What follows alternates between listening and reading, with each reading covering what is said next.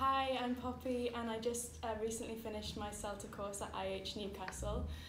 Um, it was an incredible experience for me. It was a really transformative and positive month.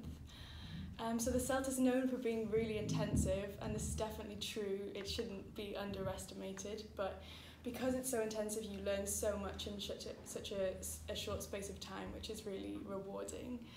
Um, the tutors here are exceptional. Um, aside from being just really lovely people and really fun, um, they're all really experienced teachers and teacher trainers who've worked um, in the UK and abroad as well.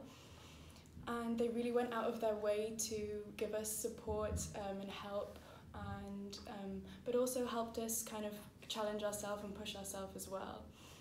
Um, so yeah, I formed really positive uh, relationships with them, but also with my uh, fellow CELTEs, who were um, all really lovely as well. Um, we were kind of a very sociable and supportive group.